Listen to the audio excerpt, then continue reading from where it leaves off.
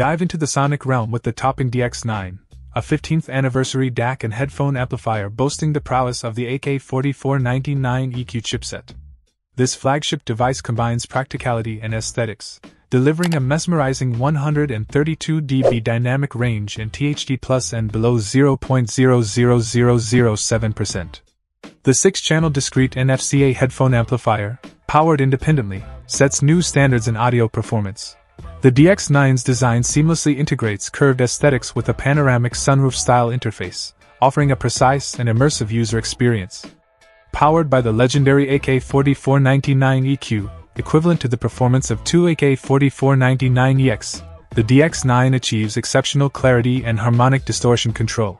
Its self developed high performance discrete circuit module, featuring 39 transistors per module, surpasses market standards. The hybrid relay volume control, a blend of resistor and relay, ensures high precision volume control, optimizing SNR and reducing distortion at low volumes. AS for the DAC parameters. The DX9 impresses with THD plus N levels as low as 0.00008% for RCA and 0.00007% for XLR.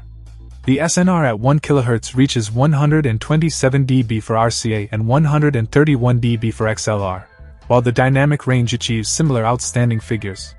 The frequency response spans 20 Hz to 20 kHz, with minimal deviations, providing a faithful audio reproduction.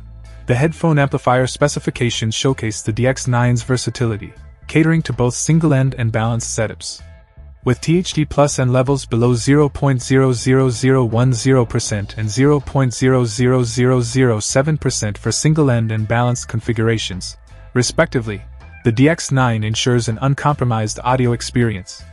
The SNR at max output hits 131 dB and 132 dB for single end and balanced setups, showcasing its capability to drive headphones with precision. Whether you're a seasoned audiophile or a newcomer to high fidelity audio, the topping DX9 emerges as a flagship contender.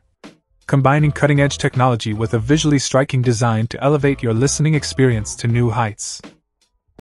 Check out the video description for updated price. And thank you for watching this video.